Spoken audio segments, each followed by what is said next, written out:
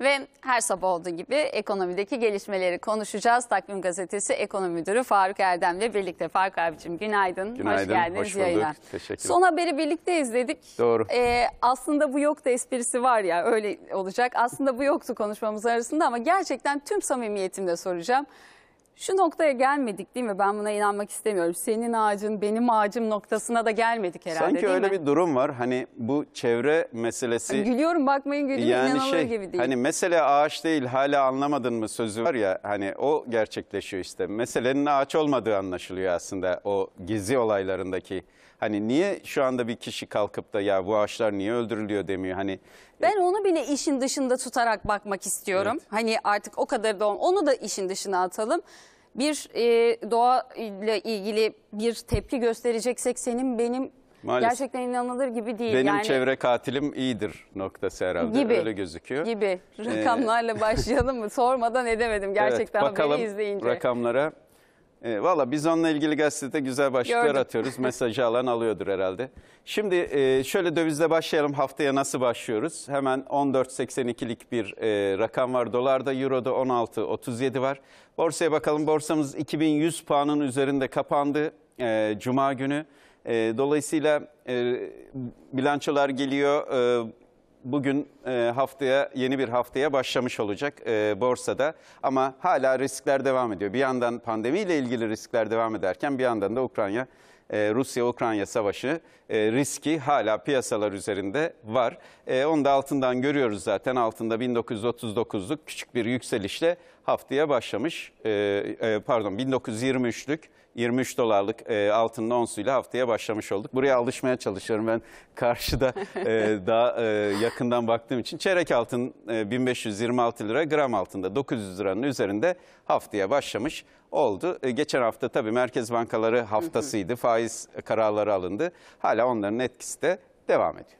Peki e, şu konutlardaki fiyatları konuşuyoruz, kiraları konuşuyoruz, Doğru. emlakçıları konuşuyoruz. Konutla ilgili konuşulacak başlıklar bitmiyor maalesef. Doğru. Bir yandan dolandırıcıları da konuştuk geçtiğimiz süreçte.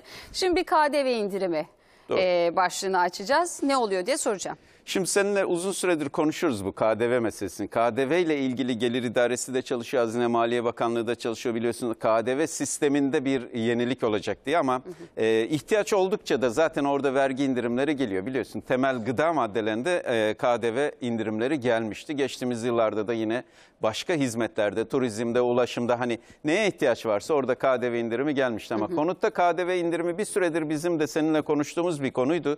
Bu konuyla ilgili Gelir İdaresi de e, çalışıyor. Burada KDV'nin yüksekliğinden ziyade yani ev fiyatlarını düşürecek bir çalışma aslında bu ama bir de bir bazı haksızlıklar oluyordu ve bazı usulsüzlükler oluyordu. Nasıl anlatayım? Mesela 150 e, metrekare bir evin KDV'si yüzde 8. Diyelim ki bu ev 1 milyon liraysa siz 80 bin lira KDV ödüyorsunuz.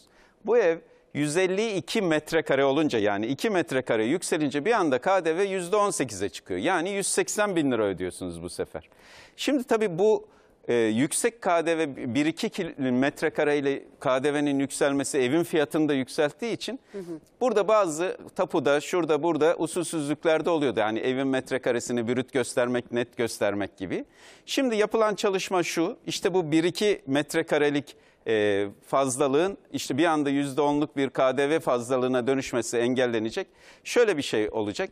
Siz yine 150 metrekareye kadar kısıma e, %8 KDV öderken e, o 1-2 metrekarelik bölüme sadece %18 KDV ödeyeceksiniz. Dolayısıyla hani siz 155 metrekare bir ev aldığınız zaman 5 metrekarelik fiyatına %18 öderken e, 150 metrekarelik fiyatına da %8 ödemiş olacaksınız. Peki böyle. Yani şöyle söyleyeyim o 180 bin liralık KDV düşecek e, 85 bin liraya filan gibi düşünebiliriz aslında orada. Peki.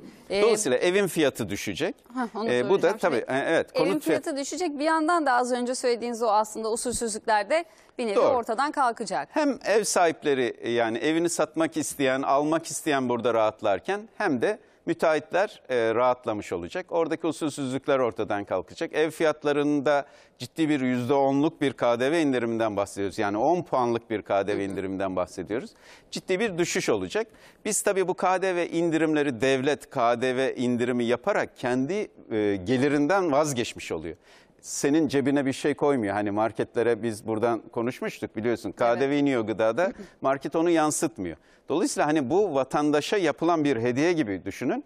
Ee, bunu sanki onun cebine konuluyormuş gibi düşünülmesin konutta da. Hani bu uyarımızı da baştan yapalım. Şu, e, şu anda çalışılıyor onun üstünde. Sayın Cumhurbaşkanı onun e, son e, kararını verecektir. E, Gelir İdaresi zaten paydaşlarla görüşüp e, bu işi çözüme kavuşturacak. E, belki de hani e, tüm e, sa- e, alım satımlardaki o KDV oranı düşürülebilir. Böyle de bir çalışma var. Bir de burada şunu da hatırlatayım. Burada tapu harçlarıyla ilgili daha önce de indirimler olmuştu. Yine onlarla ilgili de bazı indirimler olabilir. Dolayısıyla bu fahiş e, konut fiyatlarının bir nebze önlenmesi noktasında önemli bir çalışma. Kiralarla ilgili de hani bir çalışma yürüyor demiştik size. E, sizinle konuşmuştuk. E, orada da hani bir tavan fiyat getirilmesi, bir raiç bedel belirlenmesi, işte hani bölgelere göre e, kiraların belirlenmesi noktasında da bir çalışma var. Dolayısıyla kiracı ev sahibi kavgaları da önlenmiş olacak. Bir de bu arada Bunu evet hızlıca vergi konuşalım demiş- şu emeklilerimiz Evet, oraya da geleceğim. Bunu hızlıca evet anlatayım. mutlaka. Mart ayı bitiyor. O yüzden bunu bir daha bir hatırlatmak istedim. Kira geliri elde edenler, ücret geliri elde edenler, gayrimenkul geliri elde edenler bu ay beyanname vermek zorundalar. Beyanname artık çok zor değil. E artık e, Gelir İdaresi Başkanlığı'nın internet sitesinde sizin için hazır beyannameler var. Gidiyorsunuz, dolduruyorsunuz E, veya doldurulmuş beyanname. Siz onu kontrol ediyorsunuz. Eklemeniz varsa ekliyorsunuz e, ve beyannamenizi vermek vermiş oluyorsunuz. Eğer beyanname vermezseniz bunun cezasını çekersiniz. O yüzden ay sonuna kadar kira geliri elde edenler, ücret geliri elde edenler ve gayrimenkul geliri elde edenler beyanname vermek zorunda Mart ayının sonuna kadar. Ama en çok burada kira geliri elde edenlerle ilgili kısım daha çok insanı ilgilendirdiği için onu da hızlıca anlatayım. Ee, bunu devam edelim arkadaşlar. Evet. İstisna var mı? Evet. Gayrimenkul için 25 bin lira bu sene, kira geliri için 7 bin lira, iki maaş alanlar için 53 bin lira. Zaten ücret geliri iki ayrı yerden maaş alanlar için belli bir e, seviyenin üstünde. Şimdi kira gelirinde iki yöntem var. Birisi götürü gider yöntemi. Yani siz bir evinizi kiraya vermişsiniz. Beyanname vereceksiniz. Başka bir masrafınız yok, e, bir gideriniz yok. Dolayısıyla bu sistemi seçebilirsiniz. Burada zaten 7 bin liralık bir istisna uygulanıyor. Yani herkesten 7 bin lira düşülüyor kira gelirinden. Bir de %15'lik masraf yapmışsınız gibi burada devlet otomatik olarak e, kira gelirinizden indiriyor. Hemen hızlıca bakalım. 24 bin lira kira geliri olsun bir vatandaşın. istisna tutarı 7 bin lira düşüyoruz 17 bin lira kalıyor. Bunun da %15'ini alıyoruz 2550 lira onu da indiriyoruz. Vergiye tabi geliri 14.450'ye düşüyor. Bunun da %15'i 2167 lira 50 kuruş oluyor. 132 lirada matbu damga vergisi var. Toplamda 2299 lira vergi ödemek zorunda bu vatandaşımız. Zaten kira 2000 liraydı aşağı yukarı bu götürü yönteminde bir kira bedeli vergi olarak çıkıyor damga vergisiyle birlikte. Şimdi gerçek gider yöntemi önemli aslında. Eğer siz eviniz için bazı harcamalar yapıyorsanız mesela ne yapabilirsiniz? Evin tamiratı ile ilgili harcamalar yapıyorsanız, evi krediyle aldıysanız faiz ödüyorsanız, e, sigorta yaptırdıysanız eve o sigorta gideri ve en önemlisi siz evinizi kiraya verdiniz, siz de kendiniz bir kirada oturuyorsunuz. Dolayısıyla oradaki ödediğiniz kirayı da e, gelirinizden düşebilirsiniz. Şimdi aynı arkadaşın gerçek giderinin olduğunu düşünerek bir hesap yapalım. O da 24 bin lira gelir elde ediyor. 2 bin lira kiraya vermiş evini. İstisna 7 bin lira düşüyoruz 17 bin lira. Ev için 7500 liralık da bir harcama yapmış olsun. Dolayısıyla bu 7500 lirayı e, Çarpı 17, 17 binle çarpıp 24 bine bölüyoruz. Yani kala, e, istisna düşüldükten sonraki tutarla çarpıp e, kira gelirine böldüğümüz zaman indirilebilecek gider 5312 Şuraya bir lira daha çıkıyor. alalım. Kalan gelir tutarıyla çarpıyoruz. Evet. indirilebilecek gideri. Sonra da e, kira gelirine bölüyoruz. Yani e, istisna düşüldükten sonra kalan Evet. e, kısımla çarpıp 24 bine bölüyoruz. 5312 lira kalıyor. Dolayısıyla bu arkadaşımız için 11.687 liralık bir e, gelir ortaya çıkmış oluyor.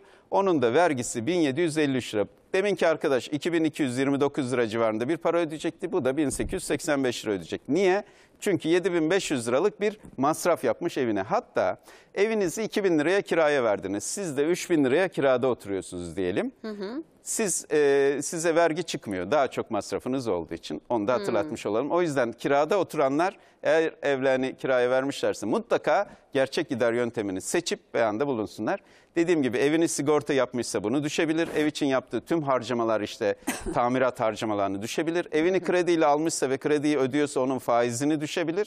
E, ve kira giderini düşebilir. Peki o zaman e, emeklilerin... Gelir İdaresi'nin internet sitesine giriyoruz. Hazır, Hazır. beyanımız orada. Evet. Onu kontrol edip dolduruyoruz. Ay Bir kere sonunu daha beklemeyelim. Hatırlatmış olalım. Evet. Zaten sürede azaldı artık. E, emeklilerin merak ettiği o konu. Dur. E, bir zamdan, bir e, ikramiyeden de söz ediliyor. Neler olacak diye soralım. Hazal da Barko'yu şimdi hemen bize veriyor. Evet. Zamlı bir ikramiye gelecek. Dört formül gündemde dedik. Nedir o formüller? Şimdi e, Erdoğan'a soralım. emekliler biliyorsun e, dini bayramlarda ikramiye alıyorlar. Bu 1000 lirayla başlamıştı. Geçtiğimiz yıl 1100 liraya çıkartıldı bir %10'luk artışla birlikte. Bu yılki işte enflasyon artışlarından sonra bir beklenti oluştu. E, bu konuda konuşulmaya başlandı. Ha- Ayrıca hatta e, onu da bir gün konuşalım bu hafta. Temmuz'da asgari ücrette de artış olur mu diye bir tartışmalarda Konuşalım. devam ediyor. Çünkü hem e, AK Parti Grup Başkan Vekilinin sözleri var hem eski Ekonomi Bakanımızın sözleri var. O bir beklenti oluşturdu ama ne olur onu da e, bu hafta Peki. içinde konuşalım. Ama şu ikramiyeyi konuşalım. Dört Tamam. formül var. Birincisi 2021 enflasyon oranı kadar arttırmak ikramiyeyi yani 1100 lirayı. Bir ikincisi yeniden değerleme oranı kadar arttırmak. Üçüncüsü asgari ücret artış oranı kadar arttırmak ki %50'yi buluyor. Üçüncüsü de toplamda 4253 lirayı bulması e, ikramiyenin. Şimdi ikramiye tabii biz burada 1000 liradan 1500 lira Asgari ücret artış oranı e, gündemde olan formüllerden bir tanesi, bir tanesi. yani. evet. Şimdi bu da aslında gündemde olan formüllerden bir tanesi. Yani 4, iki ikramiye veriliyor ya ikisinin toplamının 4253 lira olması. Hmm. Şimdi şöyle düşün 14, 14 milyon civarında e, Evet. dosya var, emekli Evet. var ki 130 ülkenin nüfusundan daha fazla emeklimiz var bizim. E bunlara 1000 lira verdiğiniz zaman 14 milyar lira oluyor. E, 2000 lira oluyor ki iki bayramda 24 milyar lira. 2000 lira verdiğiniz zaman ki 50 milyar liraya çıkıyor. Tabii biz 1000 lira 2000 lira deyince küçük rakamlar gibi ama YEKON'u düşününce çok daha yükseğe geliyor. Şimdi tablomuza bakalım mı e, verirse arkadaşlar ona da bakalım. E, ne- hani az önce söylediklerim ne anlama geliyor? Şöyle biraz yaklaşayım istersen. Tamam. Bunda böyle yavaş yavaş gidelim anlayalım. Tamam peki. Şimdi mevcutta 1100 lira ikramiye şu anda. Hani hiçbir şey değişmezse Ramazan bayramında 1100 lira, Kurban bayramında 1100 lira ödeniyor. 2200 lira ödeniyor. Geçtiğimiz yılda ödendi zaten. Eğer e, ne demiştik 2021'in enflasyonu kadar artırılırsa yani %36 arttırılması gerekiyor 2021'in enflasyonu. O zaman 1496 liraya çıkmış olacak e, emeklinin ikramiyesi. Yeniden değerleme oranı kadar arttırılırsa 1498 liraya çıkacak. Asgari ücrete yapılan zam kadar arttırılırsa %50.51 o da 1655 liraya çıkacak. Asgari ücret toplam ikramiye asgari ücret kadar olursa formülüne göre yani 4253 Evet. lira olursa Ramazan bayramı ikramiyesi 2126 lira olacak.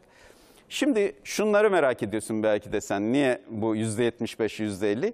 Bu emekliler tam alıyor. Bütün emekliler maaşı ne olursa olsun ikramiyesini tam alıyor. Yani 1100 lira alıyor. Tabii artarsa bunları alacak. Ama babasından maaş alan e, yetim kızlar var. E, eşinden maaş alanlar var. Onlarsa aldıkları hisse oranında ikramiyeyi alıyorlar. Yani 1000 Bir liralık örnekleyelim mi? efendim Örnekleyelim mi mesela Örnek aldıkları diyelim yani hisseyi? işte e, eşinden dolayı yüzde 75 aylık alan bir e, eşin e, vefat eden eşten aylık alanın e, mevcut ikramiyesi 825, lira. 825. Yani aslında 1100 liralık ikramiyenin yüzde 75'ini alıyor. Çünkü eşinin de maaşının yüzde 75'ini alıyor.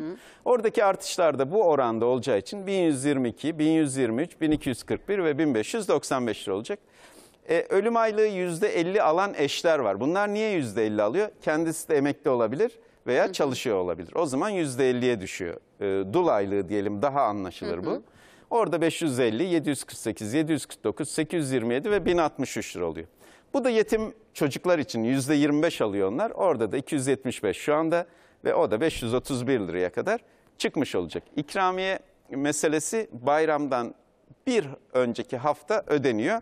Başvurmaya gerek yok. Aman ha bak burada dolandırıcılık çok Evet, yapılmaya evet. başladı. Emekleri arıyorlarmış. İkramiyenizi şöyle yapalım, böyle yapalım. Hiçbir başvuruya gerek yok. Sizin maaşınız nereye yatırılıyorsa oraya yatırılacak bu Hesabınızda ikram. zaten bu parayı Aynen. göreceksiniz yatırıldığı dönemde. Bu arada Ramazan bayramından önce emeklilik kararı aldıranlar da emekli ikramiyesi alacaklar. Yeni emekliler için. Peki, bunu Bitti da- mi? Bitti. Peki. Çok çabuk bitti. Ee, bunu da söylemiş olalım. Faruk Erdem'i hızlıca uğurlayayım ben. Teşekkür ediyorum. Ben teşekkür Ayağınıza ederim. sağlık. Görüşmek. Devam edelim hemen.